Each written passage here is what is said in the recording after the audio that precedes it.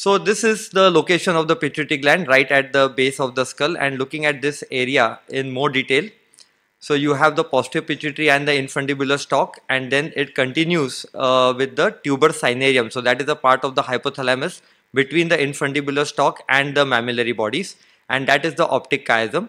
This is the third ventricle which has two recesses in this area, the optic recess and then here is the infundibular recess and the same anatomy is very well depicted on the T1 Sag image as well. And you can identify here the posterior pituitary bright spot which I have just explained. On the coronal anatomic images again you have the T1 and the T2 you can see the pituitary gland and the infundibular stalk and the optic chiasm. And on either side you have the cavernous ICAs in the cavernous sinuses. And uh, in the cavernous sinus along the lateral wall you have the third and the V1 and V2 that is the ophthalmic and maxillary divisions of the trigeminal. The fourth and sixth nerves are generally not appreciated. Clearly MRI is the modality of choice when you are evaluating this area but importantly, it cannot just be a routine MR brain. You have to have a very focused imaging when you are suspecting pathologies in this area. So you have to have smaller FOV, you have to have thinner sections, especially on the coronal and the sagittal planes. And also when you do the post-contrast, you have to do the rapid multiphasic dynamic post-contrast study, especially when you're looking for microadenomas. That is because it is in the early phases that the microadenoma is hypo-enhancing relative to the normal pituitary gland and as you go later the enhancement becomes more or less the same. So you have to pick up that differential enhancement in the early post-contrast phases to diagnose the microadenomas. So just enumerating the masses, the intrasellar lesions are uh, common ones are the physiologic hyperplasia of the gland, microadenomas and then the Rathke's cleft cyst. The uncommon ones would be craniopharyngiomas and metastasis. The rare ones would be meningiomas and dermoids. The rare but important ones would be paramedian ICAs and aneurysms. And then the suprasellar masses, if we have to enumerate the top five, which constitute more than 75% of the cases, would be uh, macroadenomas, meningiomas, craniopharyngiomas, uh, hypothalamic opticochiasmatic gliomas, and aneurysms.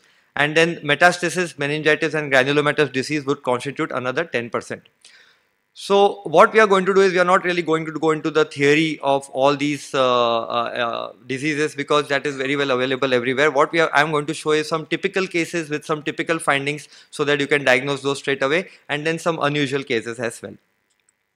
So Elster's rule is an important rule to remember because that gives us the maximum height of the normal pituitary gland during the various stages because pituitary gland is a endocrinologically active gland which varies according to the physiologic needs. And so uh, the maximum height can be 6 mm in infants and children up to 8 mm in men and postmenopausal women 10 mm in all the women of reproductive age group and in late pregnancy and postpartum it may go up to 12 mm so you have to keep the patient physiologic status in mind when you're looking at the pituitary gland height. Moving on to pituitary adenomas, uh, microadenomas are less than 10 mm, macroadenomas are more than 10 mm and micro are far more common and uh, more than 75% of these are endocrinologically active. Microadenoma is the commonest tumor and these are typically seen as very well demarcated lesions which are hypo on T1 and hyper on T2 but that signal difference is not very great so you have to use narrow window settings to sort of pick up that uh, lesions and anyway if you are looking for a microadenoma you have to do the contrast study uh, to pick it up. Uh, this is an example of microadenoma. So as I said, look at the T2 and T1. You can barely make out, but there is a suspicious lesion just in the left paramedian location there and subtle hypointensity on the T1 there. But once you do the dynamic post-contrast imaging, you can see this hypo-enhancing microadenoma with the normal intensely enhancing pituitary parenchyma around it. So that makes the diagnosis quite simple. This is a woman with Cushingoid features and again you can see on uh, the T2 there is a more obvious lesion in the left lateral portion of the sella with a slightly speckled appearance and even on the contrast it is showing that speckled appearance but it is generally hypo-enhancing compared to the normal pituitary parenchyma. So that will again confirm our diagnosis of a microadenoma. Now, when we are looking at microadenomas, many times you get patients, you know, with prolactin levels which are just 50 and 60. Generally, that is not a setting for microadenomas. Usually, if there is a prolactin secreting microadenoma, the levels are way high, more than 120 to 150 nanogram per ml, the normal being less than 20.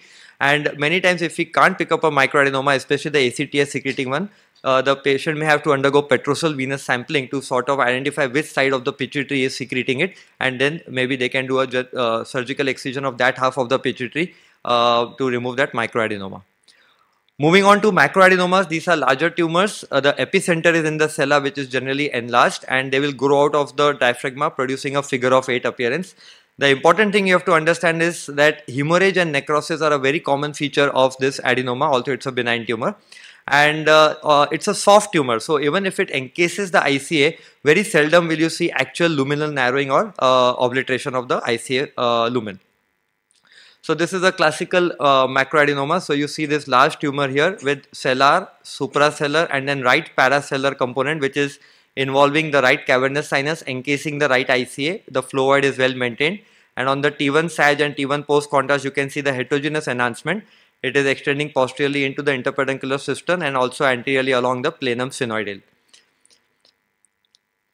uh, the same patient on follow-up uh, with two years after giving bromocriptine and you can see how the tumor has markedly shrunken in response to the bromocriptine and it is now uh, uh markedly reduced in bulk. Another example of pituitary macroadenoma, you see this typical configuration of the tumor with the suprasellar and bilateral parasellar components which are involving the bilateral cavernous sinuses. But again the ICA flow voids are encased but still well maintained. Now, even in a setting of macroadenoma, we do give a rapid multiphasic contrast imaging. That is because many times, even with a large macroadenoma, you can sometimes identify residual normal enhancing pituitary parenchyma displaced along one aspect of the macroadenoma. And this helps the neurosurgeon to salvage that whatever normal pituitary parenchyma he can. So in this case, you can actually see a good rind of normal enhancing pituitary parenchyma, which is actually splayed along the superior margin of the central portion of the macroadenoma.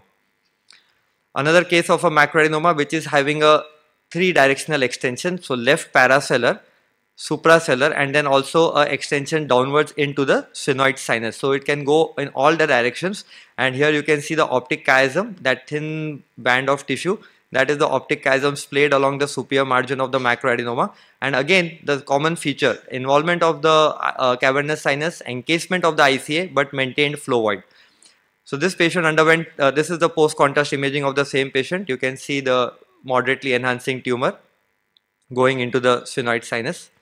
And on the post-operative imaging, you see that the surgeon has been able to excise all the sellar component, suprasellar component, the infrasellar component, but obviously he has left behind that left cavernous sinus component. So this is that margin of the residual tumor which will now have to be followed up or which can be treated with radiotherapy.